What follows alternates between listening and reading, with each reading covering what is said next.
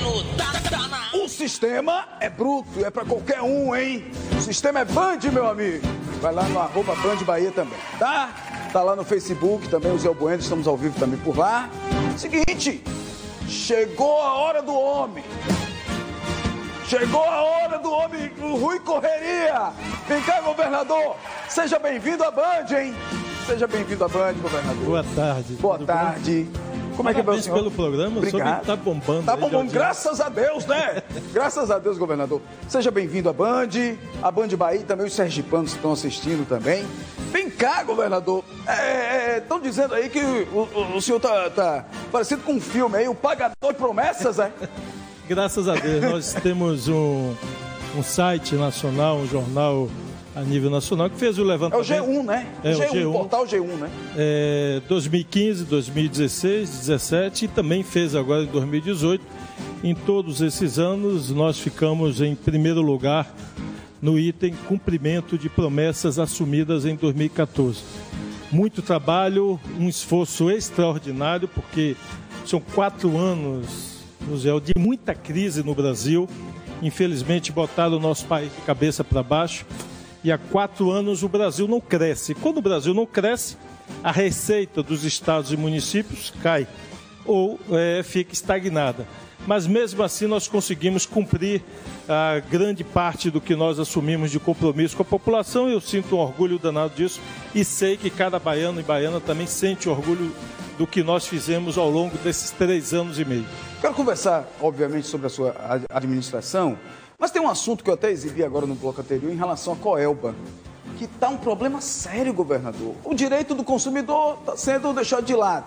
O que, que o senhor está achando desse problema aí? Hum, Parece que é um convênio que deixou de existir com a Caixa Econômica. Espero que resolva logo, né? É, e na verdade esse item especial é a relação comercial entre a Coelba e a Caixa Econômica que estão debatendo, discutindo tarifa, ou seja, é. quanto é que cobra. E quem paga o pato está sendo a população. Mas em relação à Coelba, eu vou me somar aí a todas as críticas de vocês ao longo desse, desses três anos e meio. Eu me reuni três ou quatro vezes com a direção da Coelba, cobrando inclusive mais profissionalismo, eh, um atendimento melhor ao povo da Bahia. A Coelba, de fato, tem deixado muito a desejar. Nós temos, José, muitos sistemas. Você imagina, eu tenho um sistema de água funcionando há um ano com gerador, porque a Coelba até agora não ligou a energia de sistemas de água. Outros sistemas de menor porte que estão por eh, começar a funcionar porque também não foram ligados à energia. Postos de saúde, enfim, é uma relação grande. Eu já me reuni, repito, três, quatro vezes, mas está difícil. A Coelba não tem prestado um bom serviço aos baianos e baianas e nós temos, inclusive, cobrado do governo federal, da Agência Nacional que é a competência de fiscalizar, de multar, que atue com mais firmeza para cobrar o melhor serviço eh, da Coelba para todos os baianos. E atenção, Ministério Público também. Ministério Público também tem que ir em cima, viu? Da Coelb e também a Assembleia Legislativa, a Câmara de Vereadores também, as câmaras de vereadores, né? Governador, a gente volta a falar de obras. Recentemente foi inaugurado o Couto Maia. Que obra fantástica. Lá. Cajaz- nas minhas cajazeiras, viu? Nas minhas cajazeiras. Extraordinário. Aí, não sei se você tem imagem do hospital aí, mas um hospital de primeiro mundo. Eu, com muito orgulho, eu digo que não tem um hospital particular aqui na Bahia que tenha ah, que seja melhor do que o Hospital Cotumaia. Olha as imagens aqui. São Equipamento de primeiro mundo mesmo. É, esse aí, sua imagem ainda que não estava funcionando, aí não foi no dia da inauguração, aí está sem lençol ainda, mas são equipamentos de primeiro mundo e um acabamento belíssimo, um hospital infecto contagioso e que nós vamos oferecer ali. O que tem de melhor de assistência, de equipamentos, é um projeto de parceria público-privada. Ali a, toda a parte de gestão, você tem uma ideia, ali não vai ter papel, não vai ter receituário, anotação em papel. É tudo eletrônico, é, todo o prontuário dos pacientes eletrônico, muito sofisticado o hospital, hospital de primeiro mundo. E nós já havíamos entregue o novo Prado Valadares, aí está as imagens do Cotumã, é muito bonito. É uma infraestrutura espetacular, eu sinto orgulho danado disso. E nós já havíamos entregue o Hospital Prado Valadares em Jiquié, o Hospital da Chapada Diamantina, lá na cidade de Ceabra, Já entregamos o Hospital da Costa do Cacau em Ilhéus, entregamos o HGE2, que já está em funcionamento, o Hospital da Mulher, que é um sucesso absoluto. Nós completamos aí com um ano e dois ou três meses de funcionamento, 10 mil cirurgias no Hospital da Mulher. É, e agora vamos entregar ainda esse ano, se Deus quiser, até o final do ano, o Hospital Metropolitano na cidade de Lauro de Freitas. Além disso, oito policlínicas regionais que já foram entregues, mais dez em construção que nós entregaremos ao longo dos próximos meses. Enfim, eu materializei, graças a Deus, cumpri aquilo que eu disse que ia fazer, que era regionalizar a saúde da Bahia, levar para o interior serviços de alta complexidade. E ainda temos mais coisas para inaugurar. Eu, inclusive, amanhã estou indo a Juazeiro é, e lá nós temos a construção da UNACOM, que é a Unidade de Tratamento de Câncer. Vamos fazer é, tratamento de quimioterapia, de radioterapia, cirurgias é, para tratar o câncer. Na unidade, a obra está bastante adiantada e a gente entrega ainda esse ano esse serviço para toda a região norte da Bahia, localizado ali em Juazeiro. Então, governador, é, muita gente já pensava que a correria ia parar com Couto Maia. Então não para, é não, é isso? Não para, as obras seguem. Nós ainda vamos levar a IRC, o serviço de oncologia de câncer, de é, cardiovascular. Vamos levar também ao oeste da Bahia, que vamos implantar no Hospital do Oeste, é, unidade de cardiologia e tratamento de câncer, e também lá no sudoeste. Vamos implantar na cidade de Caetité o serviço de oncologia. E no hospital de base em Vitória da Conquista, nos próximos dias nós estamos iniciando também a obra porque é, nós vamos implantar também serviço de oncologia lá no hospital de base. Lá nós já fizemos a UPA em Conquista, já estamos em construção da policlínica, já ampliamos mais leitos de UTI. Enfim, estamos redesenhando, eu diria, a saúde pública em todas as regiões da Bahia. Governador, é, eu gosto muito e, e, acho que o senhor melhorou bastante em relação àquele papo correria, viu? Adoro Eu estou treinando, né? quem sabe Rapaz, eu vim fazer parceria aqui com o, você. O homem vai ser contratado pela Band, viu? O, meu, o comandante Augusto, Augusto Corrêa, nosso diretor. É, aí, como, como diz os técnicos, você pega 16 horas, aí eu vou pegar as 15 e lhe entrego as 16 com audiência lá em lá cima. Em cima. Boa, gostei da parceria, hein? E da Atena veio depois coisa, hein? Ó, ó, que trio, hein? A pessoa, Augusto? A pessoa? Adorei isso aí. Agora, é, governador, vamos falar um pouquinho de segurança pública. Eu já milito nisso há muitos anos. E é, é, algo que me machuca muito é quando eu vejo polícia na rua, vejo polícia prendendo, polícia agindo, e aí no outro dia, como a gente já viu recentemente em Feira de Santana, uma mulher com 300 mil reais em drogas sendo liberada com 24 horas, o outro foi liberado com 48 horas e a gente tem mostrado aqui. Isso deixa frustrado o policial. Mas e a segurança pública, obviamente, que leva o lombo e a borrachada nas costas, né? Exatamente. Isso não é só você que fica frustrado, toda a equipe de segurança, até o governador, eu diria a sociedade. Principalmente, Zé, nos casos de homicídio. Verdade. Quando se trata de outros crimes, você não gosta, mas vai levando. Agora, você pegar uma pessoa que já matou um, dois, três, cinco, responde por dez homicídios, você leva, às vezes, meses ou às vezes anos, um, dois anos, para tentar localizar essa pessoa, prender. Aí prende, com pouco tempo, às vezes 24, 48 horas, às vezes com poucos dias, a pessoa está solta de novo e volta a matar de novo. Então isso é inconcebível e eu vou trabalhar firmemente para que a gente, o mais rápido possível, no Congresso Nacional, mude a lei. Não é possível que, pelo menos para crime de homicídio, nós não podemos soltar criminosos, assassinos, é, para passar Natal em casa, Carnaval, Réveillon, São João, São Pedro, Dia das Mães, Dia dos Pais. É, é brincadeira isso. Né? E é evidente que esses é, assassinos contumazes, eles não voltam para o presídio. É, muitos deles, esses é, que matam várias vezes, eles não voltam. E aí, de novo, você tem que gastar dinheiro público, dinheiro da sociedade, para caçar esses bandidos de novo e tentar botar na prisão. Então, a sensação, às vezes, que os policiais ficam é estar tá enxugando gelo, ou seja, trabalha, trabalha e o resultado demora a aparecer por conta disso. Eu acho que a lei no Brasil precisa ser mudada, é preciso ser mais rigorosa repito, pelo menos para crime de homicídio, que é aquele que tira a vida das pessoas. É, é, é, inconcebível uma pessoa ser presa por homicídio ou sequestro e ser liberada com menos de 24 horas. É inconcebível. Justiça tem que ser severa, sim, para quem deve ser. É isso aí, não tem outra. É, governador, olha, eu estou vendo aqui, policiamento especializado. O BEP foi inaugurado recentemente, foi. batalhão de choque também, com novas instalações. É importante também a, a, a colocar também novos equipamentos para os policiais, né? É, o depoimento, inclusive, do coronel Anselmo, e eu fico muito honrado com isso. Eles, governador, nunca se fez tanto investimento, se reestruturou tanto é, a nossa polícia militar como no seu governo. De fato, em quatro anos nós tem, renovamos todas as viaturas da Polícia Civil, da Polícia Militar, estamos remodelando toda a infraestrutura é, dos batalhões, das unidades de policiamento, dando melhores condições aos nossos policiais. Vamos fechar os, os quatro anos, Zé, contratando 6.800 policiais novos. 6.800 em quatro anos.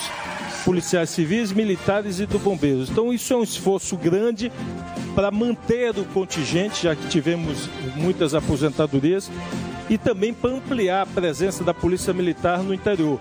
Em Barreiras, por exemplo, nós criamos o policiamento aéreo da Polícia Militar, já está funcionando.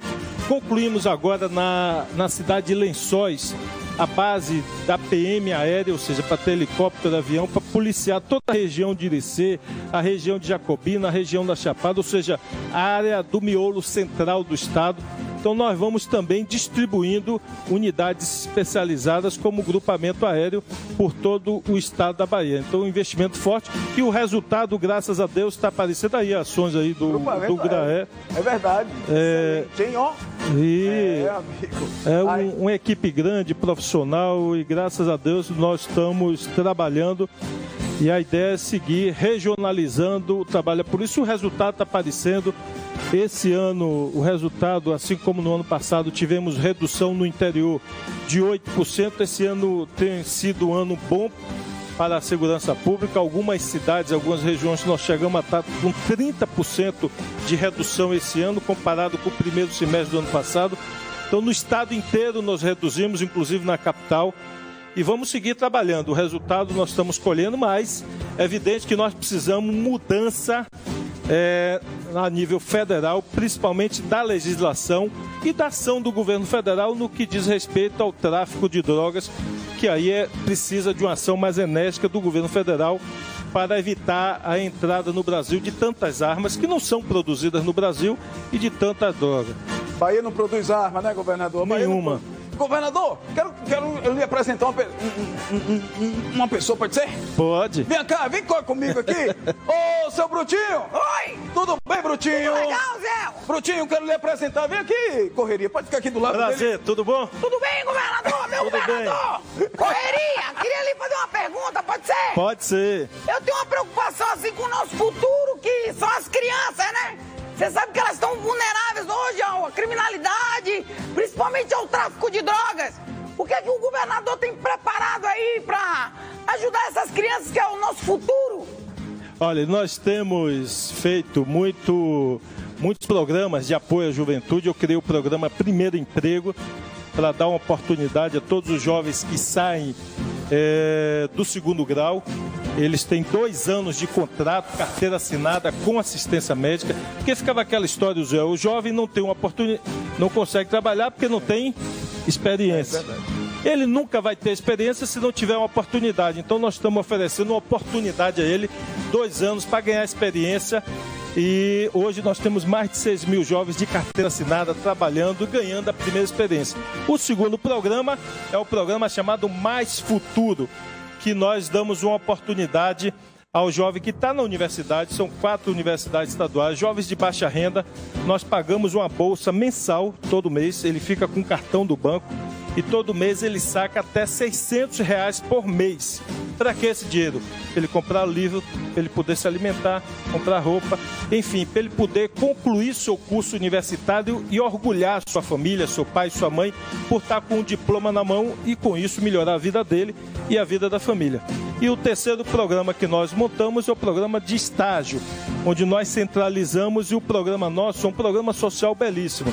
90% dos jovens que fazem estágio hoje de nível superior do Estado, quase 7 mil jovens, eles são 90% alunos da rede pública estadual, que fizeram o, o segundo grau na rede pública estadual. Então, um trabalho social eh, grande e também o projeto do Neo Gibá, que o Neo Gibá é o programa para o jovem aprender música orquestral. É um programa, graças a Deus, reconhecido internacionalmente. Nós hoje já passamos de 5 mil jovens e a minha meta é chegar a 10 mil jovens espalhados pela Bahia aprendendo música, aprendendo orquestra. Você sabia que tem jovens aqui do Alto das Pombas, é, do bairro da Paz, do interior da Bahia hoje, que foram convidados depois de apresentação nos teatros da Suíça, da Suécia, da França. Tem jovens que foram convidados e estão estudando em vários países da Europa com bolsa de estudo, música. Ou seja, pelo talento que eles apresentaram é, nos palcos europeus, é, professores de universidades ou universidades europeias convidaram vários jovens desses e hoje estão estudando música, vários instrumentos musicais é, lá na Europa. Então, ou seja, alguém que morava ali, cresceu no bairro da Paz, num dos pontos, talvez nunca tenha sonhado nem fazer uma viagem de avião, hoje brilhando nos palcos da Europa.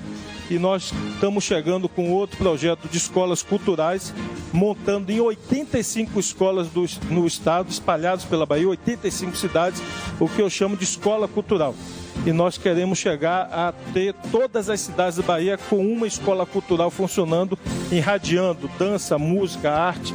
Que eu digo assim, ó, Zé, nós temos que ganhar as crianças pelo coração. Né? É pelo coração e pela mente, pela alma. É... Com esse jeito, com essa paixão que a gente tem. Ou seja, é dizer ao jovem, a adrenalina é melhor quando vem da arte, da música, da dança, é do esporte. Aí é a adrenalina que o pai e a mãe quer ver, que orgulha o pai e a mãe brilhando no exercício dessas atividades. Então nós estamos no esforço grande, além, eu digo, da minha catequese. Eu tenho uma pregação que eu repito em todo lugar para o pai e a mãe abraçar o filho, cuidar, é, não, é não desgrudar.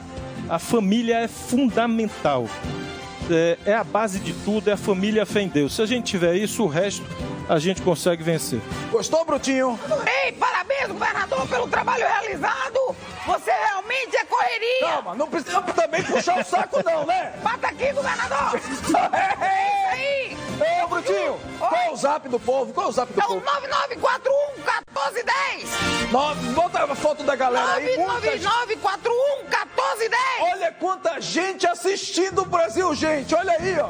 Muita gente assistindo. É isso aí. Obrigado a você pela, pelo carinho, pela audiência, viu? 99941 1410. Quais são as cidades aí, hein, Brutinho? Quais são as cidades? Ah, tem aqui Camamu, Riacho de Santana, Itapicuru, Cansanção, Pilão do Arcado, Curaçá, Cachoeira, Riachão de Jacuípe, Cícero Dantas, Barra, Barra do Choça, vocês são Jacuípe, São Desidério, Correntina, Camacanga, Gandu, Canavieira, Serra do Ô, Brutinho, são Opa. 417 municípios. Ô, ô, Brutinho, você tá lendo a relação dos municípios ou tá de fato lendo aí quem mandou? Não, seu eu aprendi com o Ziel, hein? Ei, ei, ei! Que isso, rapaz? Rapaz, o cara... Ô, Brutinho, depois eu converso com você, viu? O sistema é bruto, Ziel. Vou lhe dar uma borrachada, viu? Oh, meu Deus do céu. O sistema é bruto demais. É o quê, rapaz? É o quê, Brutinho? É o quê? Ah, eu aprendi com você, não, sei não, tudo não de vem, Não vem com essa não, viu? Não vem com essa não, viu? Ô, governador, esses caras, eles aprontam comigo, é porque ele leu ali cidade do Nordeste, do Oeste, do, da Chapada, do Extremo Sul. Tá dando, E ele né? às vezes gosta de, de mandar no programa também, viu? Ei, Brutinho! Ô, ô, Ziel! Diga! Tá na hora de gente faturar! Mostra ali o Brutinho ali. Vai lá, vai lá, meu filho. Ali, isso. Pode mostrar. É o quê, meu filho? Faturar, Ziel! Faturar? Tá na hora de faturar! E falta de respeito, rapaz! O governador tá aqui, rapaz! Desculpe aí, seu governador, mas é hora de faturar! Daqui a pouco a gente volta. Tá vendo ali, rapaz? Que menino usado, governador. Meu Deus, peraí.